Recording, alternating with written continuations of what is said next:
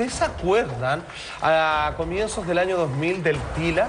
Sí. Oh, terrible, que obviamente en la comuna de Lo Barnechea, ahí está, viejo. Con una mirada absolutamente penetrante, fuera de sí, desencajada, este hombre atacaba, violaba mujeres, asesinaba a estas personas y luego las trozaba y las quemaba para no dejar ningún tipo de evidencia. El caso más patente, ¿se acuerdan cuando fue que violó una cosa terrible a esta madre con esta hija sucesivamente durante un mismo día y las obligaba entre, entre violación y violación a ir a ducharse para ir limpiando todo tipo de evidencia. El tipo tenía un perfil psicopático, tal como hemos estado hablando con, con Juanjo acá, pero de las mismas características.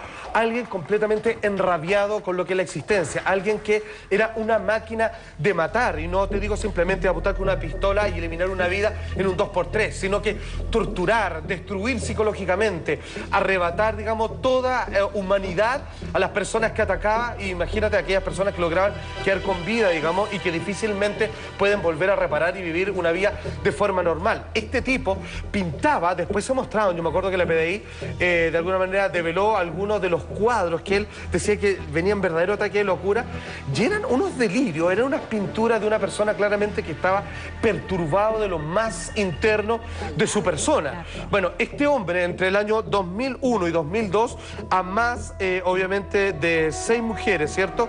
En, en esos, en ese periodo los asesinó, los quemó, los mutiló, digamos, hizo tratar de desaparecer, obviamente, todo tipo de evidencia. Se le hizo una entrevista, ¿se acuerdan? Sí. Fue el psicópata Sí, por excelencia y el tipo de alguna manera decía, no, no sé qué me pasa. Eh, hay otros que dicen, no, yo mato a estas víctimas porque escucho una voz en mi cabeza, porque se lo merecen, porque son aquí y allá, pero este tipo era con una frialdad, era una máquina de matar. El tipo estaba podrido, de hecho cuando fue encarcelado terminó eh, asesinándose. Y ahí obviamente comenzaron a aparecerle hipótesis si es que alguien pagó para que lo mataran o no, pero el tipo quería morir y mientras no se podía matar, mataba a otras personas. Ese era su perfil. Juan Andrés, pero una persona que tiene una, una, una psicología de esa característica, no un psicópata, una persona que tiene una negatividad tremenda dentro de su alma, no es algo que sucede de un día a otro. Y ahí es lo que yo quiero apuntar. ¿Cómo el entorno, la familia, la madre, el, el compañero, el vecino, no se da cuenta de que esta persona tiene ciertas características y le ofrece ayuda? ¿Cómo no se puede trabajar? desde muy chiquitito. O sea, yo, sin ir más lejos, Pero no esto es no lo así, dije, pues. eso yo no lo dije, yo no lo digo, lo dijo una psiquiatra, que efectivamente cuando tú ves conductas en tus hijos, cuando pescan a los animales, les dan vuelta a la cola, eh, los hacen, los torturan, esas son claras señales de que eso es un Hay una rabia psicopático hacia adelante. Exactamente. Exacto. Bueno, eso es lo que dice son conductas, porque fíjate que lo que pasó en Connecticut este día Pero, viernes. este- pero perdona, Zafati.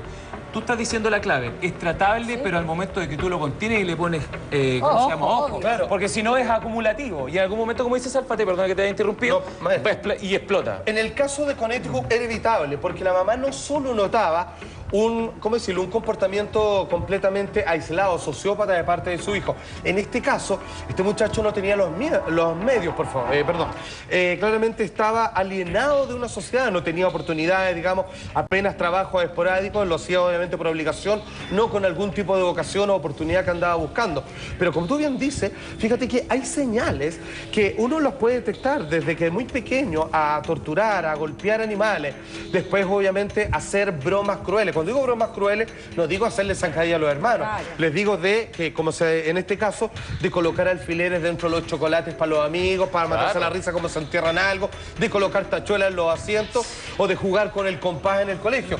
No queremos tildar de psicópata a cualquier niño, digamos, que en un exceso de adrenalina, digamos, hace este tipo de maldades, pero claramente hay un perfil ahí que hay que corregir, porque ese perfil no quiere decir que sea un asesino en potencia, quiere decir que es un niño que está enojado y que por lo tanto violenta a los demás, que se siente ninguneado, se siente aparte del resto, no tomado en cuenta y comienza a desquitarse con los demás, con aquellos que él determina que son más débiles, porque quiere hacerle sentir a los demás Perdona. lo que le hacen a él. Y también esconde